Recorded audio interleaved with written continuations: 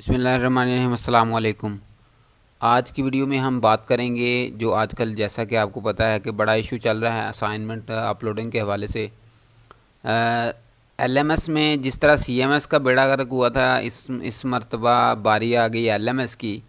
तो एलएमएस का मसला ये चल रहा है कि उसमें एलएमएस ओपन नहीं हो रहा। बहुत ज़्यादा स्टूडेंट हैं जिनकी ये जिनका ये शिकवा है, स्पेशली उन स्टूडेंट का जिन्होंने आटम 2021 में एडमिशन लिया था और उनका पहला सेमेस्टर है और पहली मरतबा उन्होंने एलएमएस में असाइनमेंट अपलोड करनी है।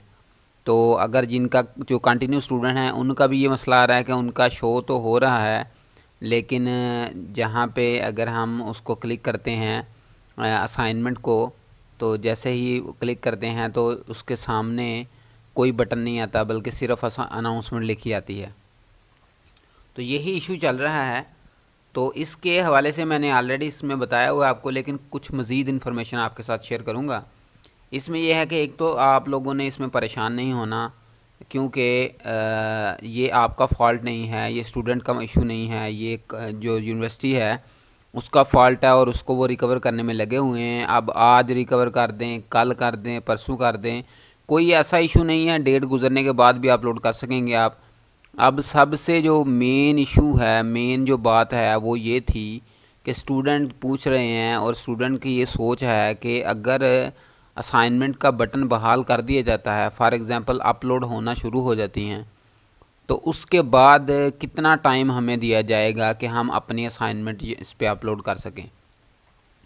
तो उस हवाले से एक ख़बर मेरे पास आपके लिए ये है एक तो पहली बात यह है कि जब असाइनमेंट का बटन बहाल किया जाएगा और असाइनमेंट ये इसके लिए एलएमएस से जो है ना कम्प्लीटली सही कर दिया जाएगा, उसके बाद भी आप लोग मेरी ये बात याद रखना कि इतनी ज़्यादा साइड बिज़ी हो जाएगी, क्योंकि यूनिवर्सिटी क्या करती है कि एकदम से सारा वज़न उसके ऊपर स्टूडेंट का आ जाता है तो उससे साइड ही बैठ जाती है।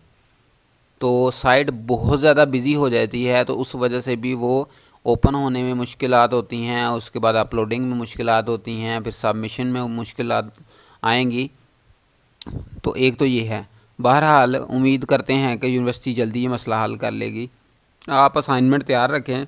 जो इन्फॉर्मेशन है वो ये थी कि असाइनमेंट का बटन जैसे ही ये कंप्लीट कर लेंगे, सही कर लेंगे तो उसके बाद कितना टाइम हमारे पास होगा कि हम अपनी असाइनमेंट अपलोड कर सकते हैं। तो उसके लिए ये ख़बर है जी, आपके पास तीन दिन आपको दिए जाएँगे, कम से कम। तीन दिन होंगे आपके पास जो आप अपनी असाइनमेंट उसके अंदर अपलोड कर सकते हैं। अगर साइड में बाद में कोई इशू आता है या वो बिज़ी होने की वजह से असाइनमेंट आपकी अपलोड नहीं हो पाती तो यूनिवर्सिटी मज़ीद आपको टाइम देगी। तो इस तरह आप अपनी असाइनमेंट के हवाले से परेशान ना हों। बस आप असाइनमेंट तैयार रखें जैसे ही यूनिवर्सिटी ऐलान करेगी उस हवाले से या एलएमएस को बिल्कुल ठीक करेगी तो इन मैं भी कोशिश में हूँ कि जैसे ही इस तरह का कोई न्यूज़ आती है तो आपके साथ शेयर करूँ और आपको बकायदा वीडियो बना के या कम्युनिटी टैब में कोई पोस्ट लगा के आपको आगाह कर दूँगा। तो अपनी असाइनमेंट आप तैयार रखें बस। परेशान ना हो इस हवाले से। यूनिवर्सिटी का फॉल्ट है, स्टूडेंट का फॉल्ट नहीं है।